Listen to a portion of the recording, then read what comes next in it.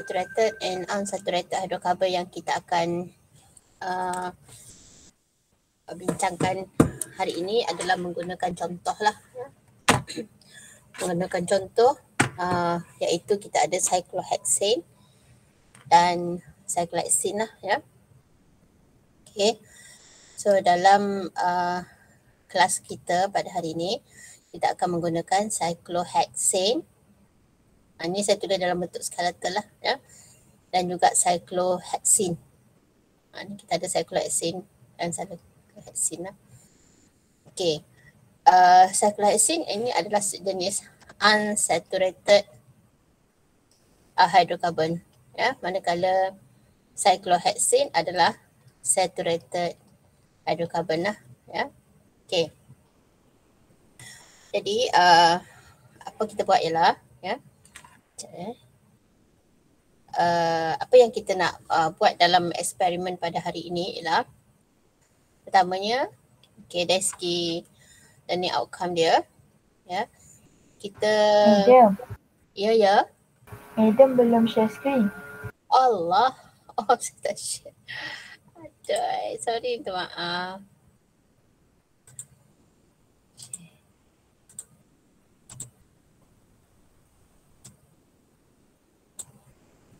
Patut rasa macam pelik eh. Sebab tak nampak yang tengah ni kan. Suka-suka hati je bercakap dah. Ha? Okay.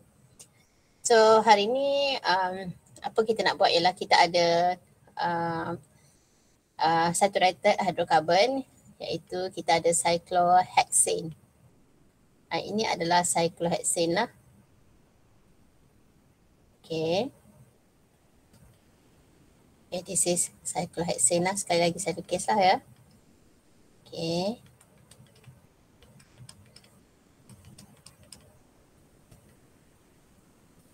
Okay, cyclohexane kalau kita tengok.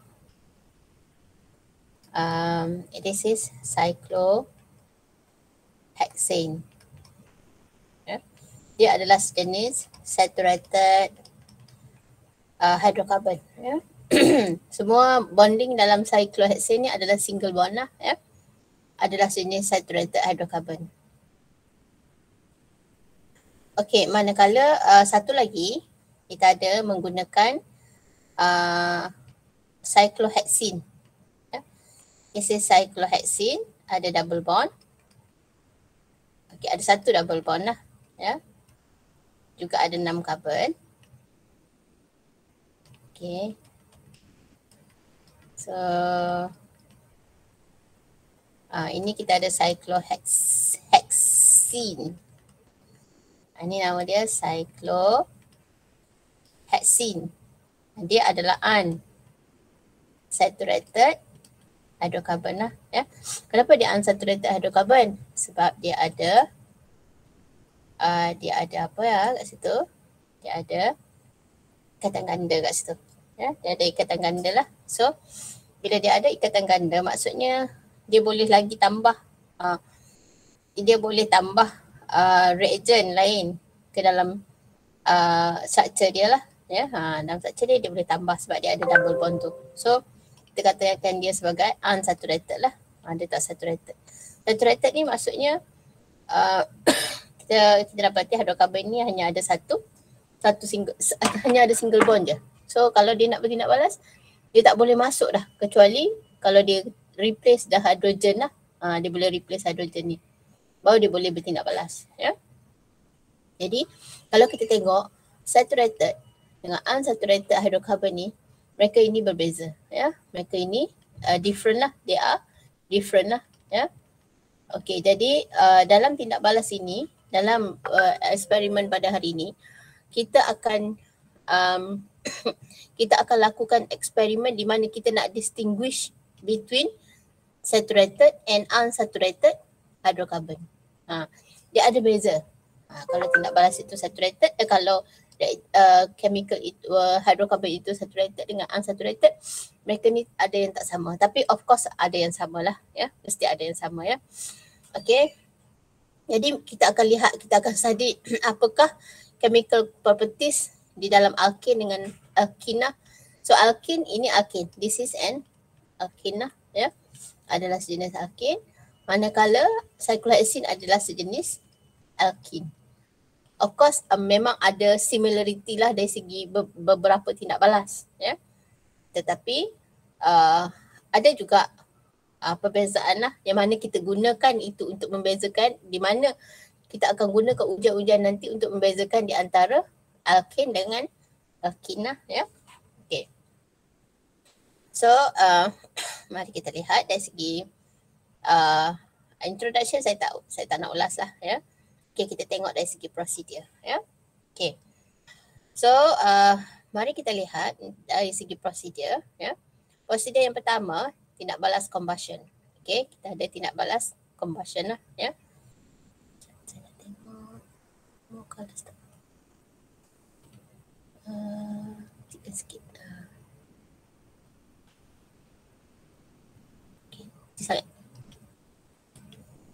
Okay, kita nak lihat uh, tindak balas combustion di dalam uh, yang apa yang berlaku kepada cyclohexane dengan cyclohexene lah. Okay, dari segi teori, apabila cyclohexane dengan cyclohexene, kedua-dua hidrokarbon ini bertindak balas, ya, mereka akan menghasilkan uh, carbon dioxide and H2O lah, both. Ya. Okay. Uh, so, kita ada cyclohexane, molekular formula dia tadi C6 ya. Uh, ini kita ada cyclohexane, cyclohexane. Cyclo kadang sebut kamu tak apa-apa nak pasal ni. Cyclohexane sane ya. Satu lagi kita ada cyclohexene. Nah, ini cyclohexene lah ya. Cyclohexane bilangan hidrogen dia uh, lebih banyak. So ini kita ada 12 lah ya. Tidak balas combustion. Okay di antara cyclohexane dengan cyclo, uh, uh, di antara cyclohexane dengan oksigen lah, combustion memang perlukan oksigen lah akan menghasilkan carbon dioxide dan uh, H2O lah. So sama juga kalau kita ada cyclohexene, cyclohexene dia punya molecular formula ialah C10, C6H10 ya, plus oksigen. Both dia akan menghasilkan carbon dioxide and H2O lah. Tapi apa yang berbeza ialah dari segi flame tu ya dari segi nyalaan dia. Ha, nanti saya nak kamu perhatikan. Yang mana nyalaan lebih banyak, uh, lebih intensity dia lebih tinggi. Okay. Dan juga kita cuba tengok dari segi uh, dia punya intensity of the flame. Intensity of flame.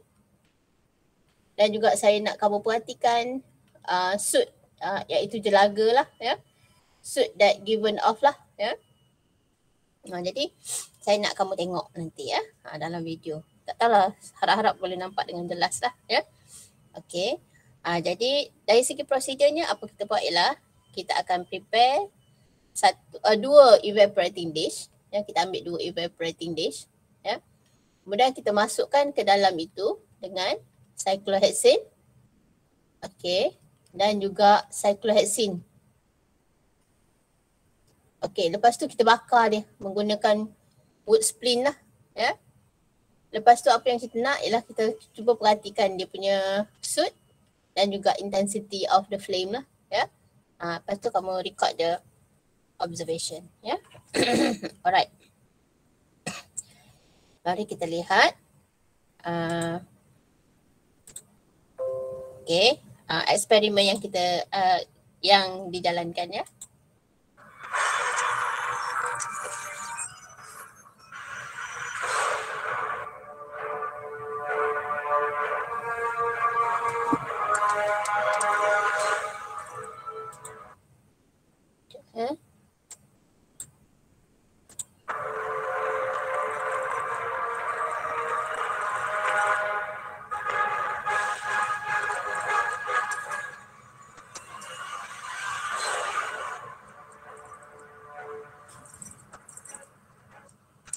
Dia punya introduction sikit lah. Dia bagi introduction. Lah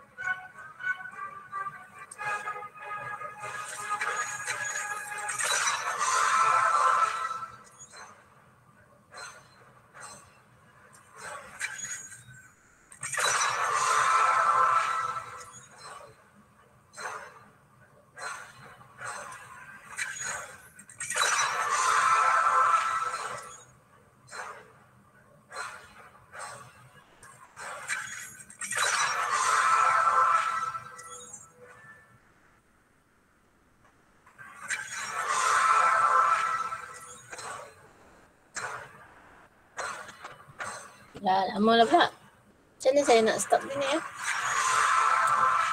Oh, saya bagi cepat sikit. Ah, okay, sorry. Ha, tengok combustion. So apa kita buat ialah kita prepare dua evaporating dish lah kat sini. Ya. Prepare dua evaporating dish. Satu kita ambil cyclohexane. Ini kita ada cyclohexane lah. Okay, kita placekan dia sebanyak 1 mil into the evaporating dish. Don't forget to put to place one waktal uh, underneath the evaporating dish ya. Sebab nanti kita nak buat uh, tidak balas combustion ni, bakar tu. Uh, so bakar uh, serentak. Compare the color intensity. Uh, tengok flame mana yang lebih banyak. Flame mana yang lebih tinggi. Lebih lebih menya, menyala lah ya. Dan suit dia tu.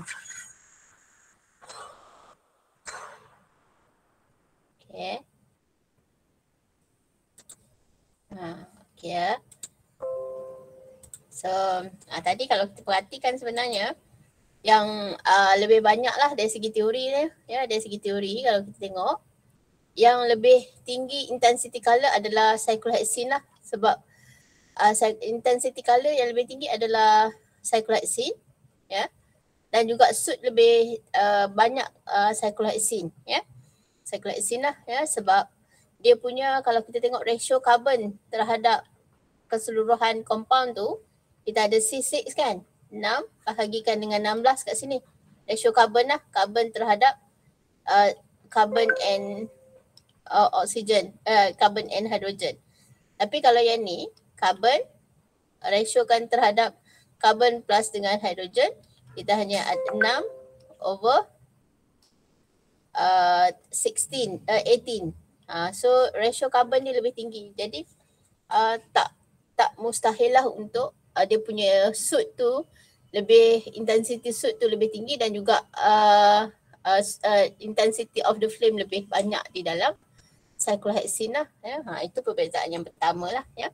Tapi ada ada uh, persamaan di antara cyclohexene dengan cyclohexene iaitu combustion memang mereka menghasilkan carbon dioxide dan juga H2O lah ya during combustion ya. Alright, uh, seterusnya kita lihat solubility. Ha, solubility ni, dalam solubility ni kita nak melihat lah um, adakah uh, cyclohexane dan cyclohexene larut dalam air. Ya, ha, jadi kalau kita tengok di sini, ya, kalau kita tengok apa kita buat ialah kita dapatkan tu test tube, ya. Kita ambil tu test tube, okay kita masukkan dalam test tube tersebut dengan 1 mil. Uh, 1 mil uh, cyclohexane. Dan juga 1 mil cyclohexene. Ya. Okey, lepas tu kita masukkan air lah. Masukkan dalam ni dengan H2O. Uh, masukkan dengan H2O sebanyak 2 mil. Uh, lepas tu kita kena koncang dia sikit lah. Koncang dia sikit. Ah, lepas tu kamu put stopper, put stopper and shake lah. Tapi bukan shake yang dia ke arah atas tau. Uh, bukan macam susu adik kamu goncang tu tak. Kamu kena goncang dia macam ni je. Ya. Uh, pusing dia, dia macam tu. Okay. Uh, lepas tu baru kita tengok adakah dia larut ke tak larut. Ya.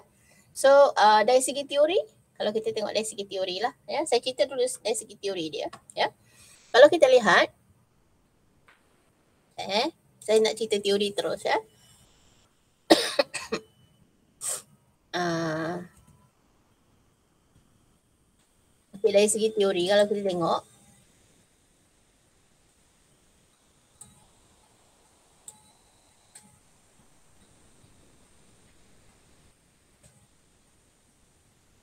Okay.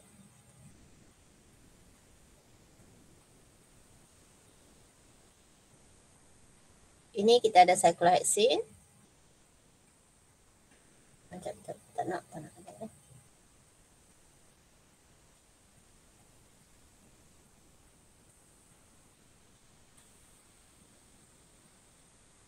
Ya.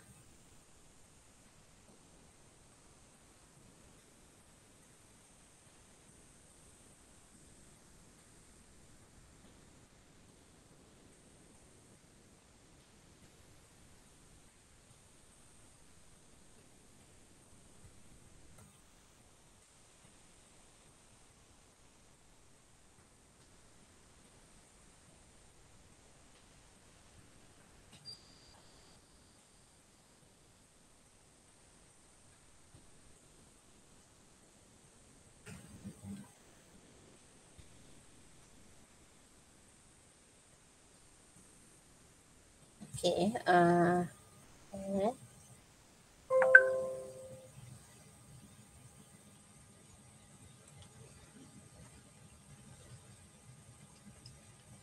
Okay. Kalau kita tengok uh, di antara satu uh, cyclohexene dengan cyclohexene yang lain lah ya. Di antara satu cyclohexene dengan cyclohexene yang lain. Cyclohexene ni dia hanya ada karbon dengan hidrogen sahaja. Jadi intermolecular force yang wujud antara cyclohexene dengan cyclohexene adalah van der Waals force. Okay, van der Waals, van der Waals force lah ya. Okay. Uh, kemudian di antara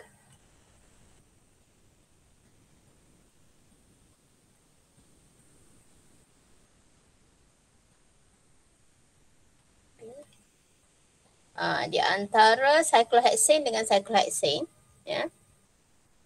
Okay, di antara cyclohexane dengan cyclohexane dia hanya ada wall force intermolecular force ya. Intermolecular force di antara cyclohexane ya dengan cyclohexane yang lain ni antara kedua-dua ni ya. Uh, intermolecular force dia adalah van der Waals force manakala air air okey di antara air dengan air uh, okey di antara air dengan molekul air yang lain intermolecular force dia adalah hydrogen bond oh. jadi konsep secara konsep dia lah ya secara konsep dia. Kalau di antara uh, dua molekul ya katalah ni molekul ni molekul ni ya jika mereka mempunyai intermolecular force yang sama mereka larut. Katalah kita ada A dengan B. Jika dia mempunyai intermolecular force okey okey kat, katalah kita ada cyclohexane cyclohexane uh, cyclohexane okey dengan air ni dia tak larut. Kenapa dia tak larut? Sebab mereka mempunyai different type of intermolecular force. Ha, mereka mempunyai different type of intermolecular force. Ha, jadi kalau kita tengok di antara cyclohexane dengan cyclohexane yang lain, okay, intermolecular force dia adalah van der Waals force. Air dengan air, intermolecular force dia adalah hydrogen bond. Okay. Jadi kalau kita nak larutkan di antara cyclohexane dengan air, mesti dah dia tak larut. Okay. So dia tak apa ni insoluble. Insoluble. Sebab apa? Sebab intermolecular force di antara cyclohexane dengan air tu tak sama. Ya? Ha, jadi uh, different type of intermolecular force apa terjadi ialah mereka insoluble. Mereka tak akan larut. Ya? Jadi kalau mereka tak larut apabila kita campurkan bersama ya? Katalah kita masukkan uh, di sini cyclohexane ke atas ni kita ada air ya bila kita goncangkan mereka mereka tak akan dapat satu mereka akan form two layer ha satu nampak layer atas, satu lagi nampak layer yang bawah lah. Mereka tak akan larut. Mereka tak akan soluble each other. Sebab mereka mempunyai different type of intermolecular intermolecular force. Ya, ha, jadi kita boleh uh, kita boleh tengok lah ya. So uh, sama juga seperti cyclohexene. Cyclohexene ni dengan air dia pun tak larut juga. Sebab dia ada van der Waals force between molecule. Air ada hydrogen bond. Jadi kalau different type uh, of intermolecular force between two compound, ya, yeah, memang compound tersebut tak akan larut antara satu sama sama lain lah, ya. Yeah. So mari kita lihat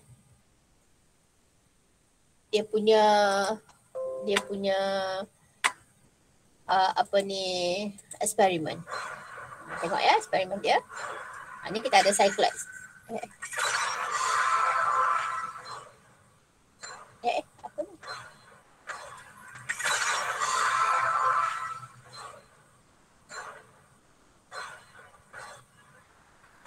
Ah, dia patah balik ah. Ah,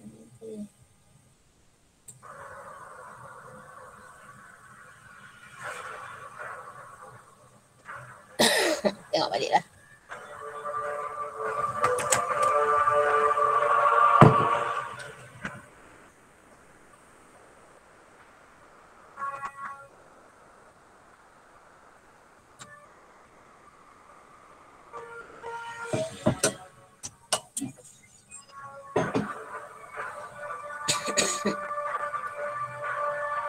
cuba tengok solubility. So now kita tengok cyclic acid lah. Okay saya. So. So dalam ni kita ada cyclohexane. Kita dah masukkan cyclohexane. Ya. Lepas tu kita masukkan air lah. Okay. So nampak tak tu layer sekarang? Okay, so kita goncang macam ni. Goncangkan dia. Ha. Ulang balik. Ha, nampak tak? Uh, ada dua layer sebenarnya kat sini. Kita akan nampak dua layer. Menunjukkan bahawa cyclohexane dengan air tu dia tak akan larut. Ataupun cyclohexane dengan air dia tak akan, dia tak akan larut lah. Ya.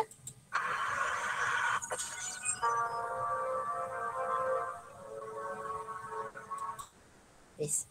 Ya habis. Uh, so uh, penjelasannya uh, macam yang saya dah bagi tahu tadi lah ya. Sebab intermolecular force tak sama menyebabkan mereka tak akan larut each other lah ya. Uh, macam tu ya. Alright.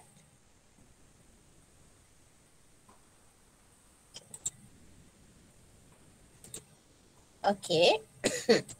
Now kita teruskan dengan uh, reaction with bromine in dichloromethane lah. Ya. Yeah. Reaction of with bromine in dichloromethane. So kalau kita tengok reaction uh, uh, with uh, bromine in dichloromethane. Okay.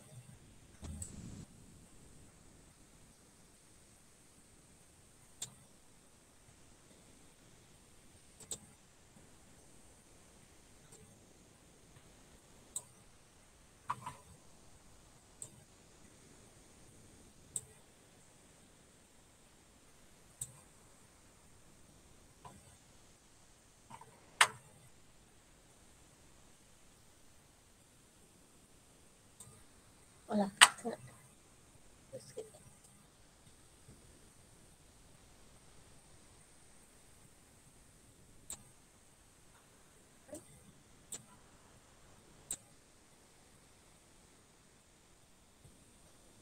Uh, dia boleh 50 tu ni je. 100 dengan ni je. Tak apa. Okay ya. Sekejap eh. Nak kakakkan ni ya. Sebab tu dengan ni je.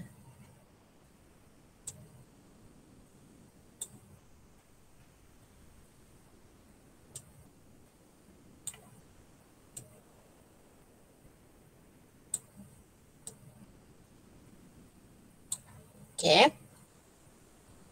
So uh, dalam dalam uh, bahagian ini uh, prosedur part C ni ya. Yeah, dalam prosedur C ya. Uh, apa yang kita akan buat ialah uh, kita akan tindak balaskan cyclohexane dan bromine. Uh, BR2.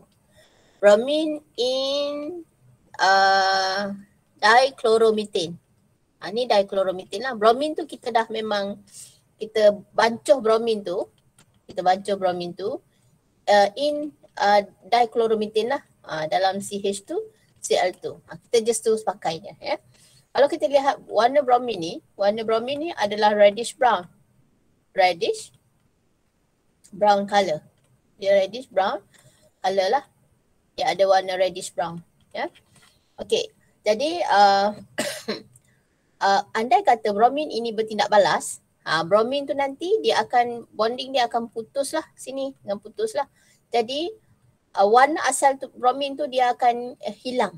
Uh, kalau dia bertindak balas lah, uh, dia putus bonding BR dengan BR tu dia is no more bromine lah. Ya, ha. Jadi jika dia bromine ini apabila dia bertindak balas, ya, dia, uh, dia punya warna asal tu iaitu reddish brown color ni dia akan menjadi colorless lah. Dia akan tukar jadi colorless. Ya, ha. warna asal bromine adalah reddish brown. So apabila dia bertindak balas dia akan uh, bertukar menjadi colorless lah. Maksudnya bromine tu is no more BR2. Ya mungkin bonding dia sudah putus menghasilkan uh, BR saja. Ya. Uh, jadi uh, apa yang kita nak buat dalam tindak balas ini ialah ya apa yang kita nak uh, dalam uh, tindak balas ini ialah kita nak lihat uh, tindak balas bromin ya uh, dalam uh, kepada cyclohexane dan cyclohexene ya tetapi dalam dua condition. Satu okey tindak balas bromin in CH2Cl2 satu dalam ada cahaya. Okey satu lagi dalam keadaan in the dark ya dalam keadaan gelap lah ya dalam keadaan gelap. Okey, kita dapati disebabkan oleh okey um, disebabkan oleh uh, apa ke namanya tu cyclohexane ni dia ada ikatan ganda maka dia menjadi tapak yang reaktif untuk tindak balas itu berlaku lah ya. Ha, dia ada ikatan ganda dia menjadi tapak yang reaktif untuk tindak balas itu berlaku.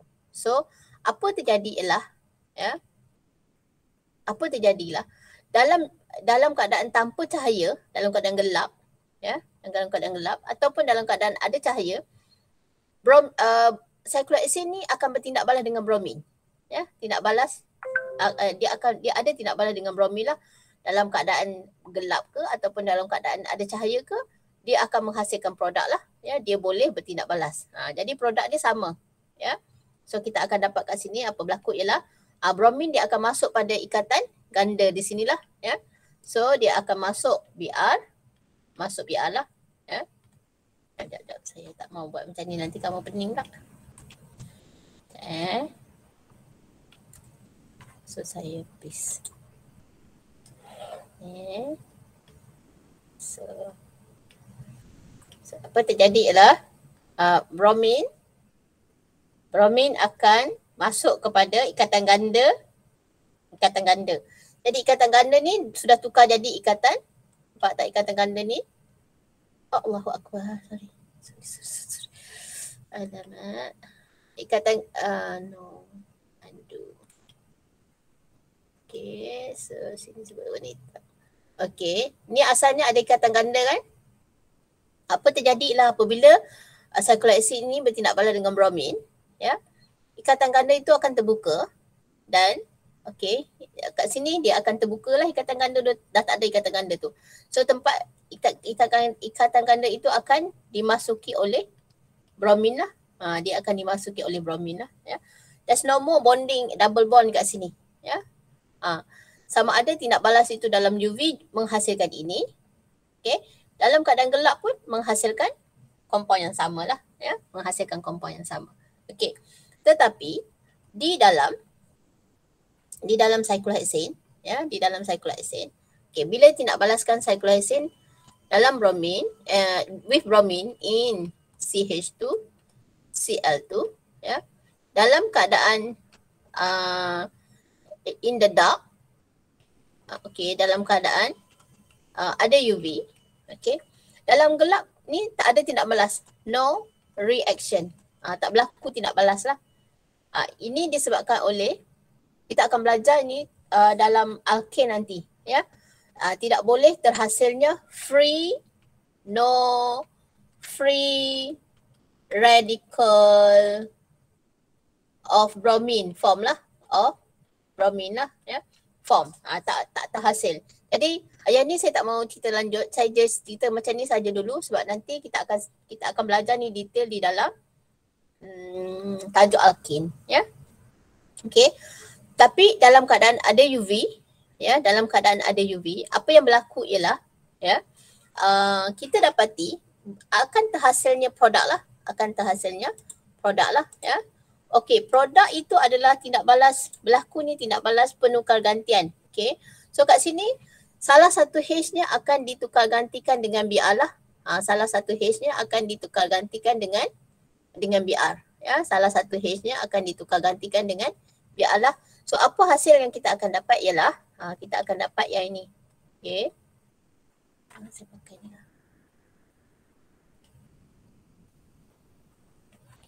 lah. Okay. Hasilnya kita akan dapati Okay. Kita akan dapati salah satu H akan ditukarkan dengan dengan BR lah ya. uh, BR akan ditukar gantikan H akan tukar gantikan dengan BR. Ha, so berlaku tindak balas uh, kat sini berlaku tindak balas sebab uh, dalam keadaan ada cahaya boleh terhasilnya free radical. Lah. Yang ni pun kita akan cerita pada tajuk akhir nantilah. Ya. Okay. So um, akan ditukar gantikan, BR akan menukar gantikan tempat H lah. Ya. Okay. So kat sini kalau kita lihat jenis tindak balas yang berlaku ialah kita ada uh, tindak balas kita substitute substitute, substitute. Uh, kita substitute substitute H dengan BR. Kalau dalam tindak balas di atas ni, ya, ini kita ada tindak balas ini kita namakan sebagai addition reaction lah. Kita addition, kita add addition reaction. Ha, tapi kat bawah ni kita tindak balas yang berlaku adalah substitution substitution reaction lah. Ya. Ha, tindak balas pertukar gantian. Ya. Ha, yang ni kita akan belajar nanti dalam topik introduction lah. Ya. Okay. Uh, teori ni kita akan belajar dalam topik introduction. Makanya kalau kita tengok dari segi kesimpulannya, kita tengok uh, untuk uh, dalam UV, okay, cyclohexene dalam keadaan UV, dalam keadaan gelap ada tindak balas. Tetapi untuk cyclohexene dalam keadaan gelap tak ada tindak balas. Tapi hanya berlaku tindak balas dalam keadaan adanya UV sahaja. Ya? Uh, so, uh, mari kita lihat dari segi eksperimen dia. Ya? Dari segi eksperimen. Okay, kita tengok ya.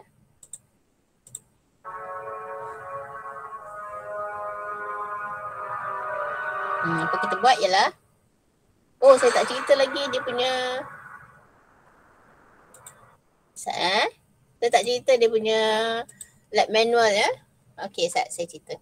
Okay dalam tindak balas ini apa buat ialah Kita akan dapatkan empat test tube lah. Ha, Kita ambil empat test tube. Okay empat test tube. Kita labelkan A, B, C, D lah ya Okey, dalam test tube AB ni kita akan masukkan cyclohexane. Okey. So yang ini kita masukkan dengan cyclohexene lah ya. Lepas tu kita ambil test tube A, kita balut dia. C pun balut. Okey. Lepas tu kita masukkan uh, dengan cyclohexene. Ha, ni masukkan cyclohexene, ni masukkan cyclohexene lah. Lepas tu masukkan dengan uh, bromin tadilah. Ha, ni masukkan bromin, ni masukkan bromin, masukkan bromin juga. Okey. Lepas tu yang kita balut tu kita simpan dia kat tempat gelap. Ya. Yang ini B dengan D ni kita akan letak dia di bawah cahaya matahari lah. Ha, ini memang kita nanti bila buat eksperimen tu memang kita kena letak kat luar. Ya. Ha, jadi uh, kita tengok biarkan mereka dalam 10 minit uh, kita lihat apa yang berlaku kepada warna bromin. Yang penting kamu kena tengok warna uh, warna bromin. Warna asal bromin tu adalah dia sebagai reddish brown. Reddish brown color lah. Ha. Tetapi kalau dia ada tindak balas, maksudnya color dia tukar. Kalau dia tak ada tindak balas, uh, warna dia maintain lah, remain. Ya? Ha. So, ini kita lihat dari segi eksperimen dia.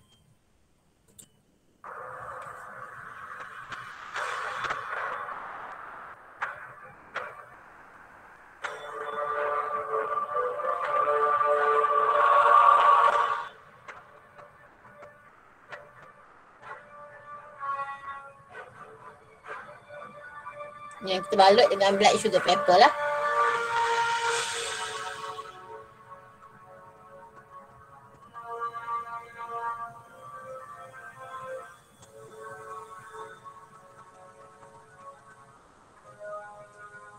Nah, ini kita masukkan uh, BR tu ni kenapa ni?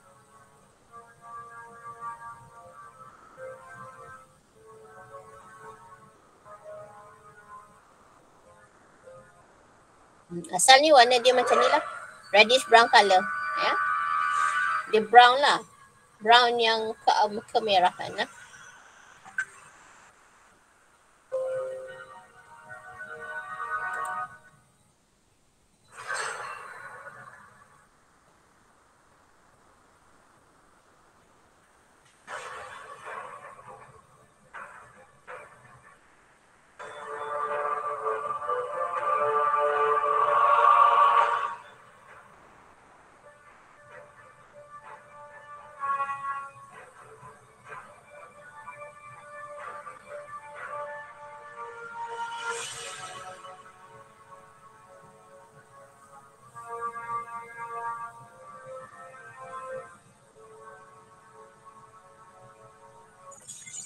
Hmm. Ha, dia minta kamu dia minta kamu apa? Dia minta kamu untuk um, berikan data lah ya. Okey, sepatutnya tadi kalau kita tengok A ni Okey. So kalau kita tengok sepatutnya lah ya. Sepatutnya dari segi sepatutnya lah bila kata saya, kata sepatutnya ya.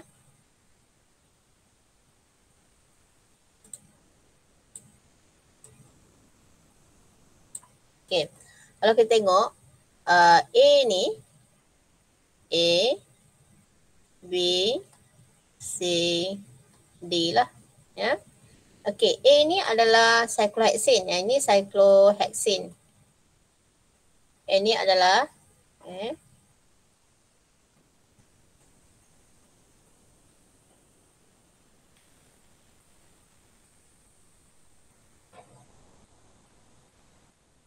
Okay. okay, ini adalah cyclohexane lah. Ya. Okay, uh, uh, sepatutnya kalau kita tengok ini kita balut test tube A. Ni test tube C pun kita balut juga. Okay, ini kita biarkan dia terbuka lah. test tube B dengan test tube C, test tube D. Yang uh, cyclohexane kalau kita tengok uh, dia dalam keadaan gelap tau. Dia dark ini gelap, ini UV, ini dark, ini UV lah. Ya. Sepatutnya kalau kita tengok, okay, apa yang berlaku ialah kat sini berlaku tindak balas. Uh, kedua-dua ni ada tindak balas. Ya. Uh, manakala uh, cyclohexane dalam UV ada tindak balas tapi yang ni tak ada tindak balas lah. Ya.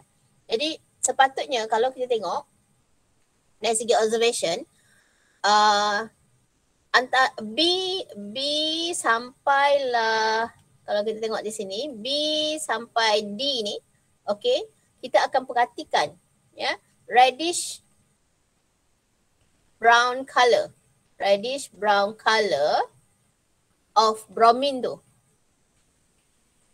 Yang ini dia akan turn colorless dia akan turn colorless tetapi dalam A ni sebab dia dalam keadaan gelap cyclohexane gelap. Okay. Tidak berlaku tindak balas lah. Jadi reddish brown color of bromine tu ni remain remain unchanged lah. Dia tak berubah. Ha, dia remain unchanged. Dia tak berubah lah sebab tak ada tindak balas. Kat sini no reaction. Ha. Yang ada reaction hanya tiga ni. Ha, yang ni uh, ada reaction lah. Okay, ada reaction lah. Ya. Yang ini no reaction lah. Ya, yang ini ada reaction. Ya. Okay. Uh, jadi sepatutnya data kamu kena macam tu lah. Ya. Uh, test tube A ni no uh, reddish brown color of bromine tu tak berubah. Tapi B, C, D Okay, reddish brown color of bromine tu dia akan turn colorless sebab ada tindak balas dengan cyclohexane dengan cyclohexene. Ya, ha, macam itulah cerita dia. Ya. Alright. Okay. Terus seterusnya mari kita lihat. Um, hmm, ada apa-apa nak tanya ke setakat ni? Anything kamu nak tanya saya? Anything you wanna ask? Ada, ada nak tanya-tanya apa-apa tak? Tak ada. Ah? Okay, kalau tak ada kita teruskan. Okay. Uh, seterusnya kita ada tindak balas Bayes test lah. Ya. Uh, Bayes test ni kita nak membezakan di antara cyclohexane dengan cyclohexene menggunakan K- uh, reagent KMNO4. Okay ya. So um, apa kita buat ialah kita akan ambil uh, test tube yang mengan uh, and then kita letakkan dengan cyclohexane. Yang ini kita letakkan dengan cyclohexene. Lepas tu apa buat ialah kita masukkan dengan KMNO4. Yang ni masukkan dengan KMNO4 adalah dia punya concentrated tu berapa drop ya. Yang ni masukkan dengan KMNO4 juga. Ha, so kita biarkan dia uh, selama 10 minit and kita record the observation lah ya. Okey, dari segi teori lah, dari segi teori ya. Okey, kita bila kita bercerita dari segi teori ya.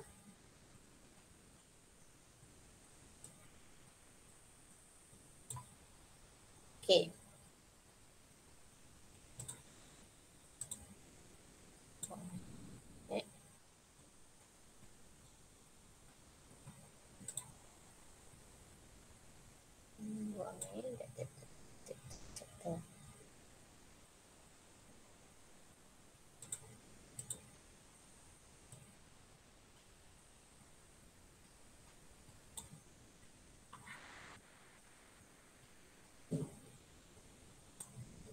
Okay, kalau kita lihat dari segi teori,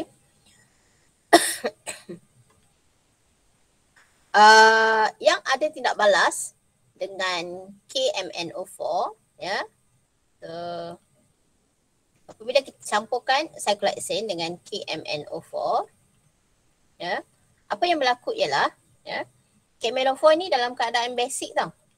Okay. Macam cool lah, ya. Ha, dalam teori kita boleh katakan dia cold tapi sebenarnya bukanlah kita masukkan dia dalam ais ke tak lah ya. Tanpa heating tu uh, kita panggil dia cold lah ya. Kita, kita panaskan dia. So apa yang berlaku ialah ya. Apabila cyclohexane ini bertindak balas ya dengan K-menofor dalam keadaan basic ya. Apa yang berlaku ialah ya uh, double bond akan hilang juga sama seperti BR tadi ya double bond akan hilang akan masuk dengan OH. Ha, masuk OH. Tidak balas dengan KMNO4 tapi masuk OH, OH. Dia akan menjadi diol. Ya. Dia akan menjadi diol lah kat sini. Ya. Dan M pada masa yang sama akan terhasilnya MnO2. Ya. MnO2 terhasil. Ya. Jadi warna asal KMNO4 ini asalnya warna dia adalah purple color. Purple, purple color. Purple color. Tapi disebabkan dia sudah bertindak balas, purple color itu dia akan turn colorless. Dia akan jadi colorless. Sebab there's no more KMNO4 lah selepas tindak balas itu berlaku lah. Ya. Dan MnO2 ni warna dia apa? Dia akan dapat brown precipitate lah. Uh, brown precipitate. Mendakan warna brown. Ya, mendakan brown lah. Ya. Apabila uh, cyclohexane yang ada double bond tidak balas dengan bias reagent KMNO4 dalam keadaan basic ya. Ada tidak balas ya di mana tempat uh, double bond itu akan dimasuki oleh OH dan terhasilnya side product MnO2 jadi apa dia punya observation ialah dari segi observation ya dari segi observation apa yang kita akan perhatikan ialah ya yang kita akan perhatikan ialah purple color oh, sorry kita akan dapati purple color of KMNO4 turns colorless and brown precipitate. Ah, PPT saya tulis ya, is form. Okay. Tetapi kalau kita tengok banding dengan tindak bala dengan cyclohexane, ya, cyclohexane ni apabila kita tambahkan dengan uh, K-meno4, tambahkan dengan K-meno4. Eh. Eh, eh. Adjust sikit. Bagi bawah sikit.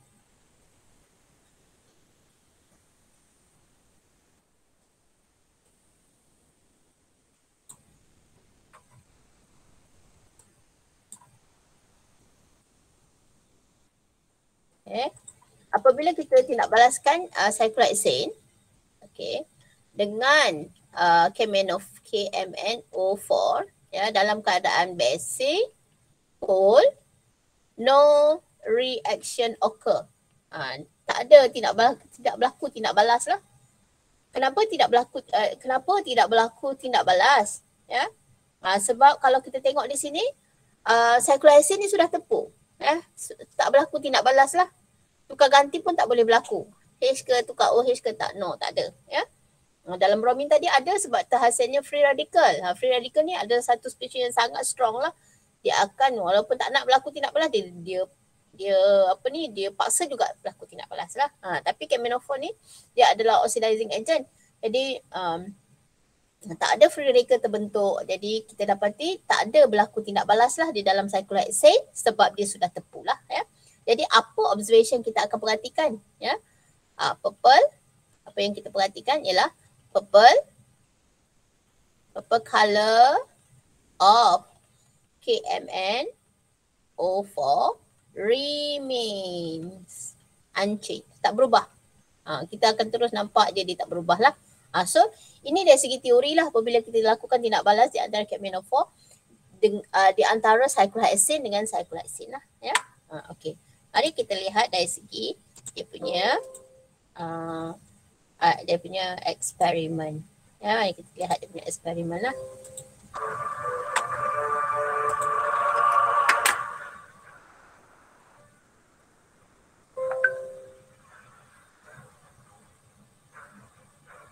Okay.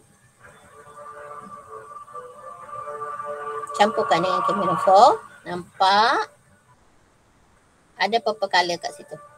Buatlah nampak warna oh, Sepatutnya tu warna tak berubah tau. Tapi tak tahulah kenapa orang ni buat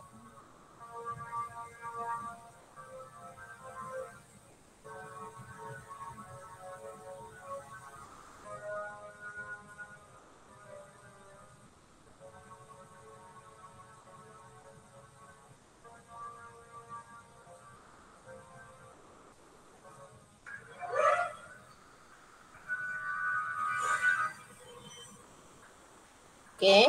Kalau dalam circulation ni akan nampak, uh, nampak tak ni brown precipitate lah. Sepatutnya yang ini kita nampak tak berubah lah circulation. No reaction lah sepatutnya dia akan dapat warna purple tu remain unchanged lah. Tapi saya tak tahu kenapa dia nampak video ni nampak warna putih ni. Ya. Nah, kat sini sepatutnya dia akan dapat cyclohexene, cyclohexene. Uh, dia akan dapat uh, brown precipitate lah kat, kat bawah ni. Ya.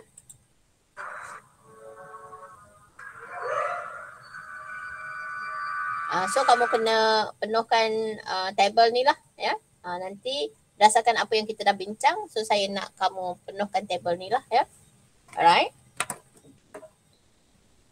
Okay. Uh, uh, uh, kita habislah dengan eksperimen dua ya. Habis dengan eksperimen yang kedua lah ya. Okay, ada apa-apa nak tanya kah? Anything nak tanya? Tak ada ya? Okay.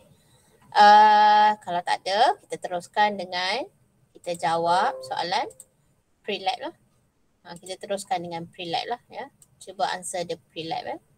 Okay.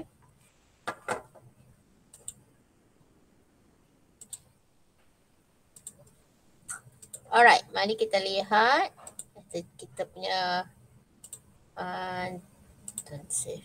Ya, ha, kita tengok soalan pre-lab lah. Ya. Okay. Uh, soalan pre-lab ya. Tengok soalan pre-lab tu. Okay. Uh, what is hydrocarbon?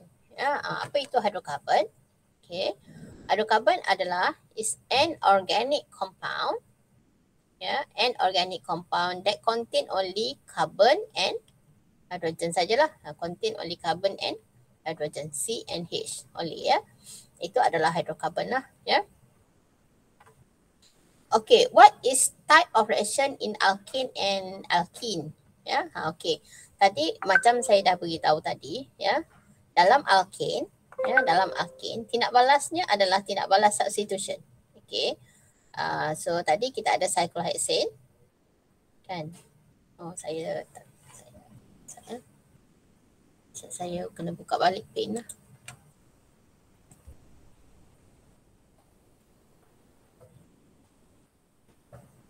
Okay, so tadi kalau kita tengok ya.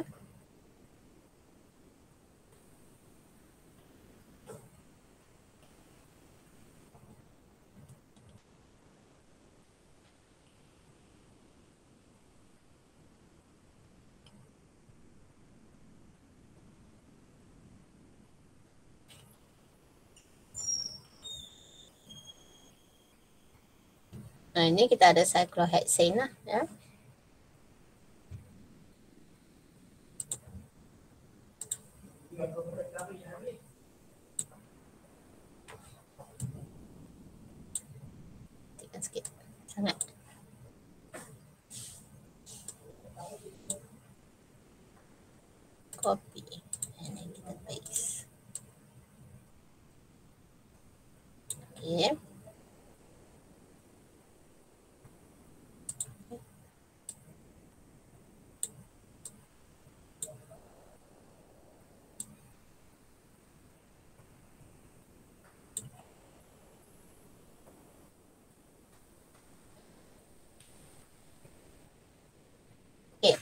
So ini kita ada cyclohexene. Ini kita ada cyclo uh, cyclohexene lah ya. Okay. So dalam tindak balas cyclohexene tadi ya, bila kita tambahkan dengan bromine contohnya ya. Okay. Uh, dalam keadaan UV ya, dalam keadaan UV, apa yang berlaku ialah ya, kita akan dapati uh, one of the bromine tu dia akan replace the hydrogen kat sini. Uh, dia akan replace dengan dia akan replace dengan uh, hydro, uh, replace the hydrogen lah kat sini kan. Dia replace. Hmm. Okay. Tetapi dalam cyclohex uh, dalam cyclohexene ya. Okay. Apa yang kita perhatikan bila berlaku tindak balas ialah ya okay, tindak balaskan dengan bromin tak kisahlah di dalam UV ataupun dalam keadaan gelap ya or dalam in the dark ya. Apa terjadi ialah uh, bromin akan masuk kepada double bond tadilah ya masuk kepada double bond jadi single bond. Maksudnya kalau kita tengok di sini ya okey uh, double bond hilang. Uh, maksudnya sekarang dalam tindak balas cyclohexane ini akan berlaku tindak balas substi substitution manakala di dalam cyclohexene berlaku tindak balas addition lah. Uh, tindak balas addition. Specifically apa yang masuk kepada um, uh, itu adalah free radical uh, free radical free radical substitution reaction. Manakala di dalam uh, cyclohexene uh, apa yang masuk uh, bromin tu tadi yang masuk kepada ni kita namakan dia sebagai electrophilic. Uh, tapi ini kita tak belajar lagi tapi no problem. Nanti kita akan belajar lah. Electrophilic addition reaction lah ya. Uh, so kalau kita nak jawab soalan tadi apa buat ialah okay. Uh, what type of reaction in alkane and in alkene ya. Yeah? so dalam alkane apa yang berlaku ialah kita ada free radical substitution reaction. Yang mana kalau dalam alkene akan berlaku electrophilic addition reaction. Ini belum belajar lagi. Tapi uh, dalam introduction kita akan belajar benda ni. So don't worry lah ya. Kalau kamu belum faham lah ya.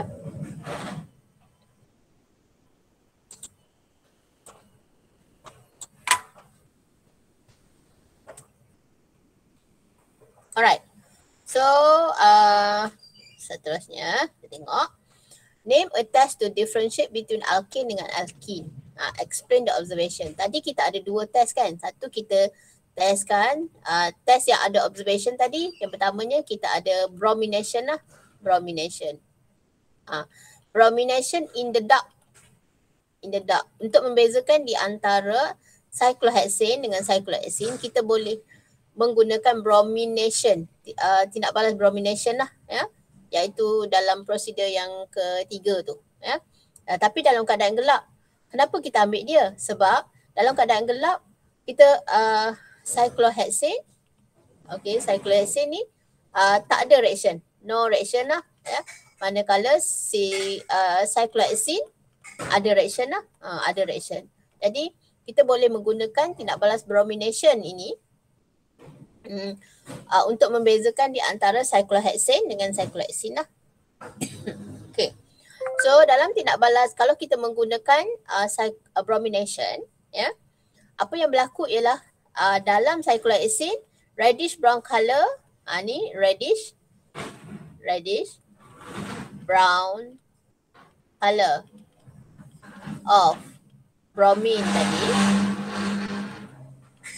uh, remain unchanged lah uh, remain unchanged. Manakala dalam cyclohexene ya reddish brown color of uh, bromine turns colorless. Ha, dia bertukar color lah ya. Ha, jika kita menggunakan bromine test lah ya, bromination lah, ya bromine test. Ha, bromine test lah. Okay. Uh, Bayer test pun boleh kita pakai juga. Ya, boleh Bayer test pun boleh pakai jugalah. So, kalau dalam Bayer test terhadap cyclohexane, uh, apa terjadi dalam cyclohexane apa terjadi? Uh, yang ini purple color lah. Purple, purple turns colorless lah. Colorless. Yang ini lepas tu plus dengan brown precipitate. Ya. Okay.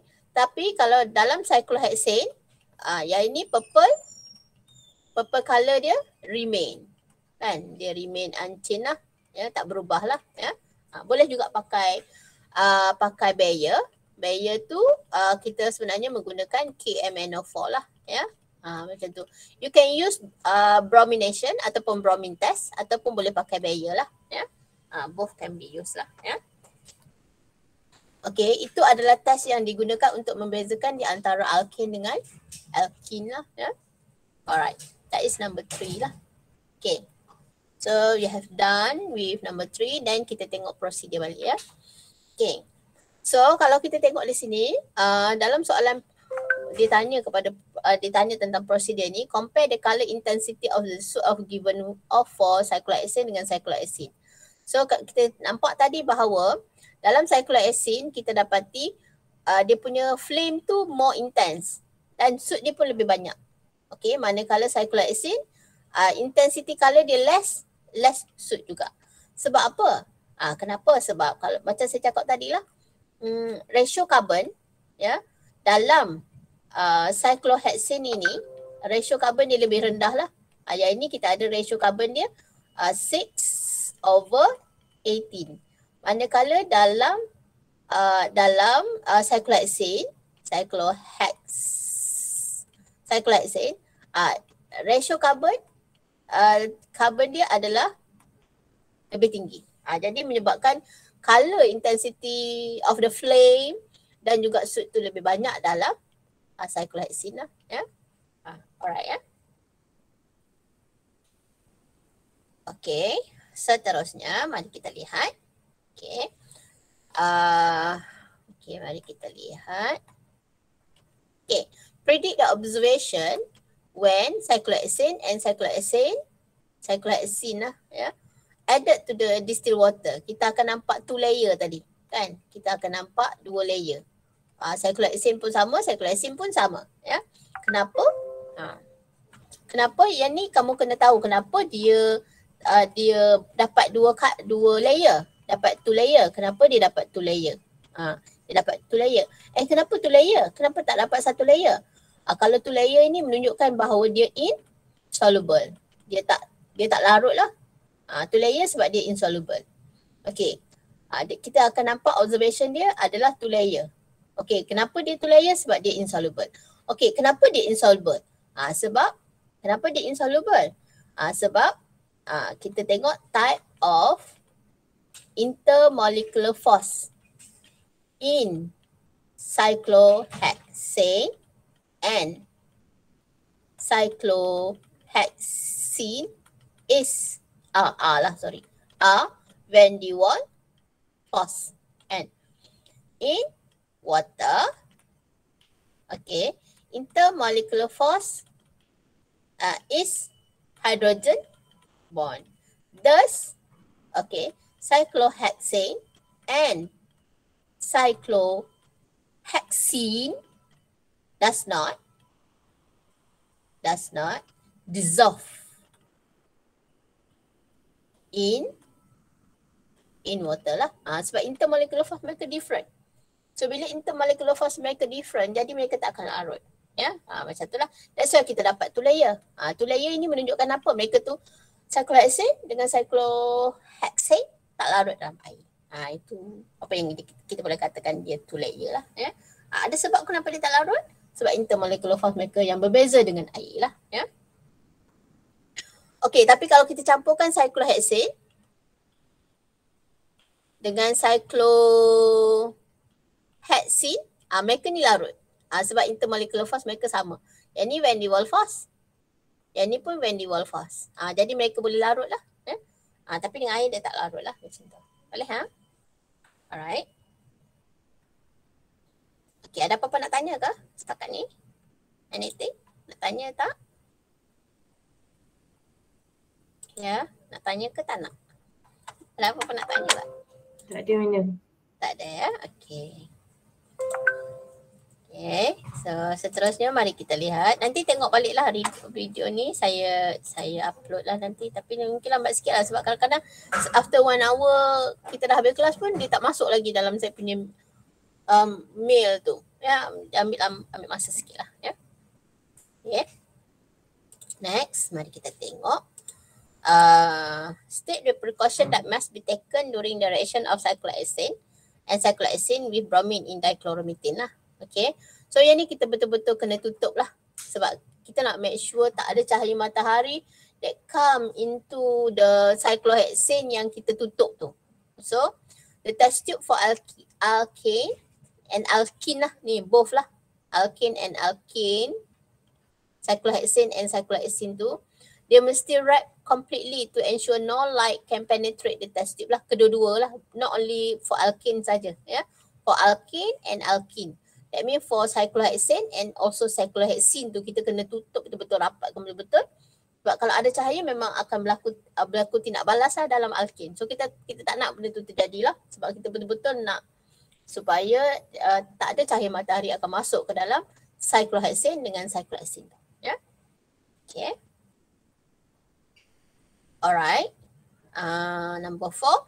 Predict the observation when alkane and alkene added to the alkaline uh, KMNO4 ya. Okay. So uh, macam saya beritahu tadi ya. Dalam alkane dalam alkane kita dapati purple color of KMNO4 ini uh, eh, tak, salah ni terbalik ni. Ya, purple color dalam alkene, dalam alkene, dalam cyclohexene lah. Kita ada dalam cyclohexene. Okay, purple color of KMNO4, purple color of potassium permanganate. Ni potassium permanganate ni KMNO4 lah. Become colorless and form brown precipitate.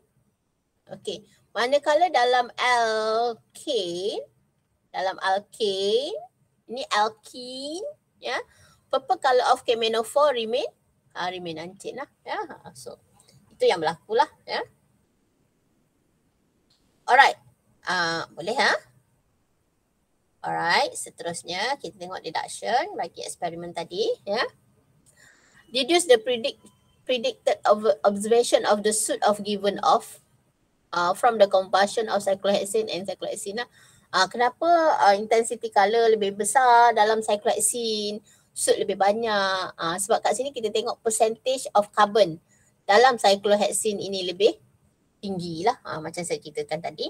Ha, kenapa dia punya intensity of flame lebih besar and should given of lebih banyak sebab percentage of carbon dalam cyclohexene tu lebih tinggi dalam ya, uh, cyclohexene lah. Ya. Uh, that's why cyclohexene uh, dia terbakar with the uh, greater intensity of flame and also the soot given off.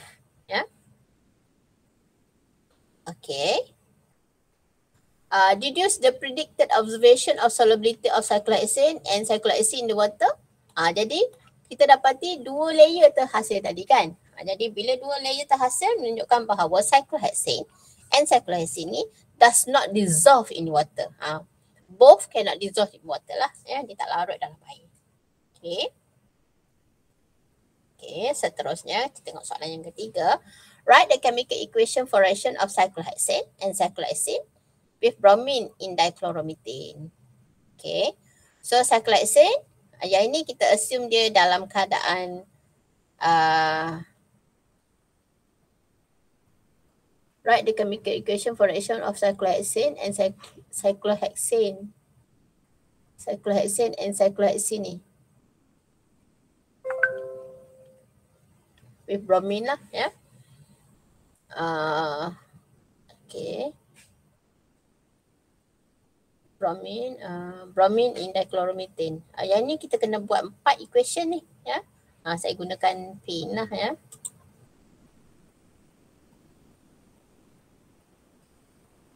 Okay, sekejap eh.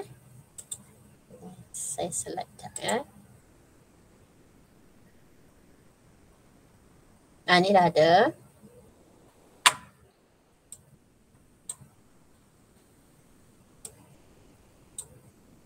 Okay. So kita ada tindak balas. Uh, ada tindak balas cyclohexane dengan bromin dalam UV. Uh, uh, dia uh, bromin tu dalam CH2Cl tu lah. Okay.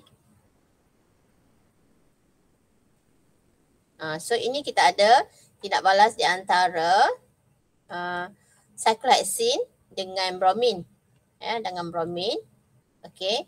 Dalam UV ha ni satu tindak balas dua tindak balas. Okey. Seterusnya uh, kita ada tindak balas di antara uh, ini dua tindak balas lah ya. Yang ini adalah so tadi kita ada cyclohexene cyclohexane. Dengan bromin okey. Satu in the dark satu lagi dalam UV. Ha. Uh, cyclohexane dengan bromin. Okay. Dalam keadaan gelap tak ada tindak balas. Yang ni ada tindak balas lah. Ha. So ini tindak balas. Uh, tindak balas yang saya boleh labelkan sebagai tindak balas satu lah. Ya. Ini tindak balas yang kedua. Ha. Yang kedua tindak balas. Okay. Lagi kita ada C6H10 plus dengan Br2 dalam in the dark in the UV lah. Ya. Eh sabut ingat eh. Macam mana ni? UV. Yang ni ada tindak balas, yang ni pun ada tindak balas lah. Ya. Ha, okay. So kalau kita tengok ya. Tindak balas cyclohexane. Cyclohexane. Ya. Dengan uh, BR2 dalam dichloromethane, dalam UV dan dalam in the dark. Uh, kedua-duanya ada tindak balas lah. Uh, kedua-duanya ada. Uh, kat sini kita tengok dia dua-dua ada tindak balas. Ya. Tapi kalau uh, kalau cyclohexane ya. Tidak balas dengan bromin bromin di dalam CH2Cl tu dalam UV dia ada tindak balas. Tapi dalam keadaan gelap ni dia tak ada tindak balas lah. Ha, kita boleh tulis no reaction lah macam tu ya. Ha, no reaction ya. Alright. So uh, untuk uh, alkaline tindak balas dengan alkaline potassium permanganate. Hanya uh, cyclohexene saja yang bertindak balas ya. Uh, jadi kita tambahkan cyclohexene kepada KMNO4 dalam keadaan basic coal ya. Apa yang berlaku ialah kita akan masukkan OH kepada double bond kat sini ya. Okey double bond hilang. Dah tak ada double bond dah. Macam saya tunjuk tadi lah uh, plus dengan MN O2 uh, ini yang berlaku lah ini yang berlaku lah so there's no more double bond in cyclohexane tu ya. Okey uh, kita addkan masuk dengan OH OH lah. Uh, ini kita akan menghasilkan what we call as diol lah ya Okey. Dan juga uh, side product dia akan menghasilkan MnO2. Ha, ini ini adalah tidak balas lah di antara cyclo, uh, dengan uh, KMNO4. Tetapi kalau kita ada cyclohexane uh, dengan KMNO4 ni, okay, uh, no reaction occur lah, no reaction. Tak berlaku tindak balas ya. Tidak berlaku tindak balas sebab tak ada double bond pun dalam cyclohexane tersebut. Okay ya. Uh, so itu kita ada untuk eksperimen yang kedua lah dari segi teori. Okay dari segi eksperimen kita telah nampak lah ya. Okay. Alright. So ada apa-apa nak tanya? Anything nak tanya? Nanti saya akan beri recording ni kepada kamu. Okay. Ada apa nak tanya tak? Tak ada ya macam biasa nak kata apa lagi kan. Uh, okay, kalau tak ada apa-apa, kamu boleh PM saya lah kalau ada kemuskilan lah ya. Uh, kau kat sini malu nak tanya ke apa benda. Saya pun tak tahulah apa benda kan. Kamu malu ke apa ke kan, ada masalah ke, tak tahu. Uh, okay, kalau tak ada apa-apa kita dismiss lah ya. Okay, Assalamualaikum semua. Bye. Take care. Waalaikumsalam. Assalamualaikum. Waalaikumsalam. Salam, Cik Ih.